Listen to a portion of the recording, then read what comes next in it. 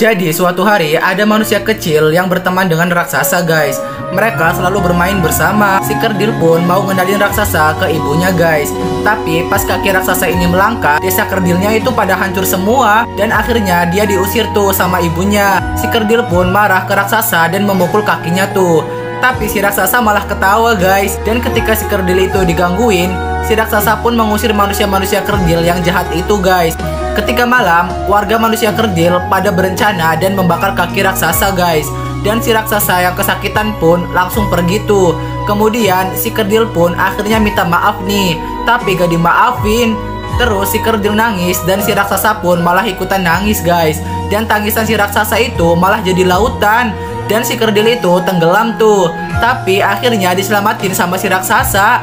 Dan akhirnya mereka hidup bahagia dan sudah tidak ada lagi yang ganggu pertemanan mereka berdua guys.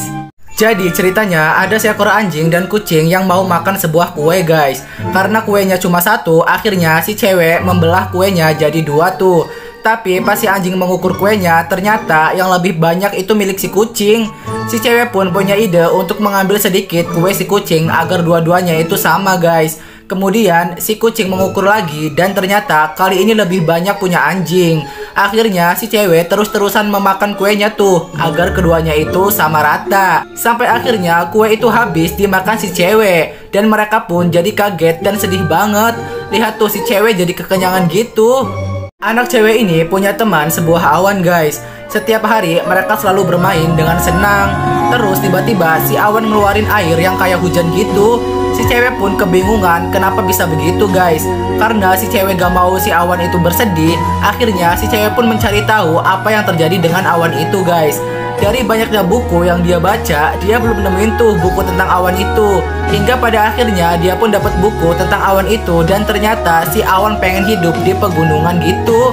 Akhirnya si cewek dan keluarganya pun pergi ke gunung dan melepaskan si awan itu guys Sebelum pergi, awan dan cewek itu berpelukan gini Dan akhirnya si awan pun bahagia di situ bersama awan-awan lainnya guys ada raksasa batu yang sedang mindahin batu besar guys. Pas dia mau pergi, eh batunya malah jatuh dan mau menuju ke arah istana tuh. Karena raksasa itu nggak mau batu itu jatuh ke istana Akhirnya dia berusaha untuk menghentikan batu besar itu guys.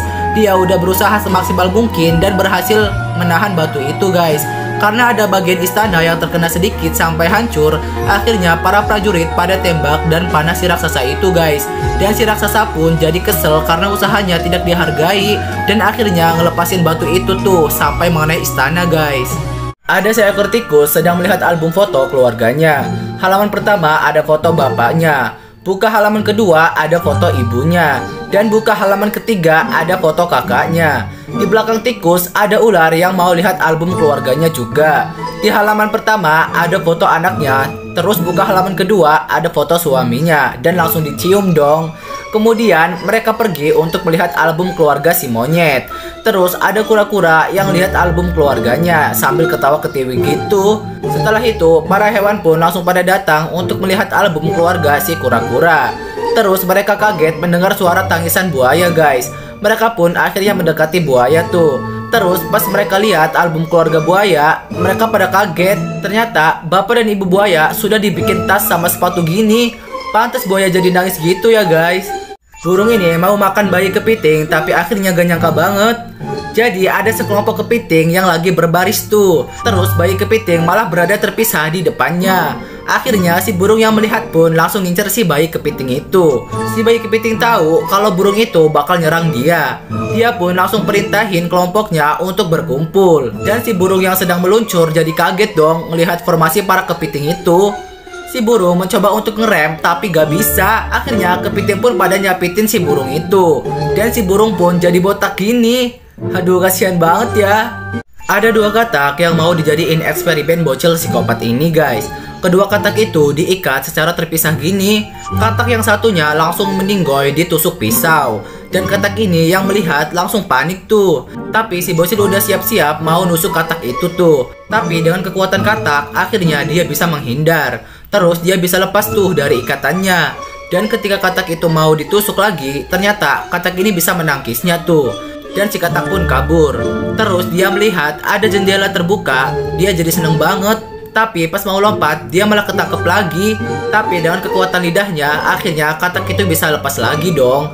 Dan dia pun selamat karena bisa keluar dari situ. Baru saja bersantai, eh dia malah ditangkap lagi nih. Dan pingsan gitu. Pas bangun, dia melihat tangan dan kakinya itu sudah digoreng.